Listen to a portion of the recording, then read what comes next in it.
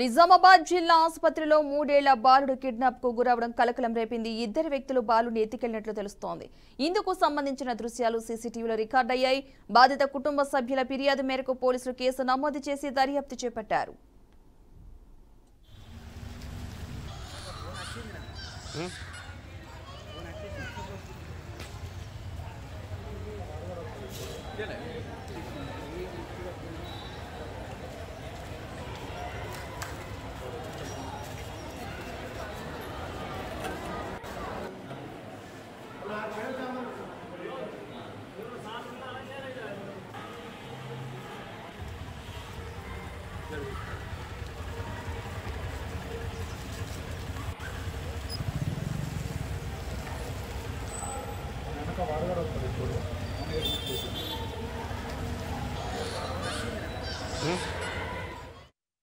నిజామాబాద్ జిల్లాలో మూడేళ్ళ బాలుడు కిడ్నాప్కి గురయ్యాడు. ఇదే అంశానికి సంబంధించిన పూర్తి సమాచారాన్ని మా ప్రతినిధి ధనుంజయ్ అందిస్తారు.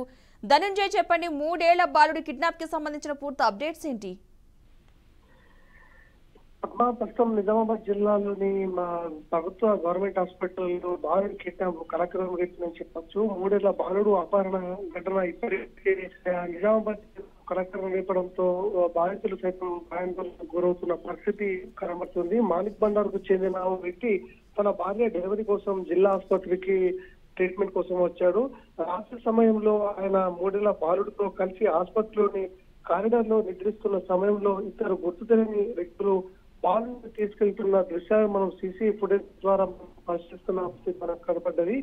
ఆసుపత్రి తన బాలుడు అదృశ్యమైన విషయాన్ని గుర్తించిన తండ్రి ప్రధానంగా ప్రధాన ఆసుపత్రి వద్ద ఉన్న పోలీసులకు సిబ్బందికి సమాచారం ఇవ్వడంతో రంగంలోకి ఒకటో డోర్ పోలీసులు దిగి ఆ బాలుడికి సంబంధించిన ఆచూకీ తెలుసుకునే ప్రయత్నం చేశారు. ఇద్దరు వ్యక్తులు కలిసి బాలుడిని ఎత్తుకెళ్తున్న దృశ్యాలను మనం చూస్తున్న పతి ఇక్కడ కనబడ్డది. తరచూ నిజామాబాద్ ప్రభుత్వ ఆసుపత్రి వివాహాలకు కేంద్ర బిందువుగానే మారుతుందని చెప్పొచ్చు. ఎందుకంటే ఆ ఆసుపత్రిలో కనీస సౌకర్యాలు లేక ఇప్పటికే ఆ, రోగులు అనేక ఇబ్బందులు ఎదుర్కొన్నప్పటికీ కూడా అక్కడ సిబ్బంది కట్టించుకోవడం పాపాన పోలేదు. సెక్యూరిటీ గార్డులతో పాటు అక్కడ ఆసుపత్రికి సంబంధించిన స్టాఫ్ నర్సులు ఈ రోజు రోగుల పట్ల శాంతంగానే మారుతున్నారని చెప్పొచ్చు. ప్రధానంగా డబ్బులు లేక ఎంతో మంది ప్రభుత్వ ఆసుపత్రికి వస్తే రోగం కోసం వచ్చే నయం చేసే కంటే వాళ్ళకు ఇబ్బందులే ఎక్కువతున్న పరిస్థితి మనకు కనబడ్డది. ఈ విధంగా మాణిక్ మఠంకు చెందిన ఆ వ్యక్తి తన భార్య పొడి నొప్పులతో ఉన్న భార్యని ఇక్కడ ప్రధాన ఆసుపత్రికి తీసుకొస్తే ఇలాంటి సంఘటన జరగ జరగడంతో తండ్రి రోదనలు మాత్రం విన్నడుతున్న పరిస్థితి మనకు అక్కడ కనబడుతున్నది. ఇప్పటికీ సీసీ ఫుటేజ్ ఆధారంగా పోలీసులు రంగంలోకి దిగి ఆచూకీ ఆచూకీ కనుగొన్న పరిస్థితి మనకు కనబడ్డది. కానీ ఆసుపత్రికి. సంబంధించిన సిబ్బంది కావచ్చు అటు ఆసుపత్రి వర్గాన్ని కావచ్చు దీనిపై స్పందించడానికి మాత్రం మొహం చాటిస్తున్న పరిస్థితి మనకు కనబడ్డది. Padma. Right thank you Dhananjay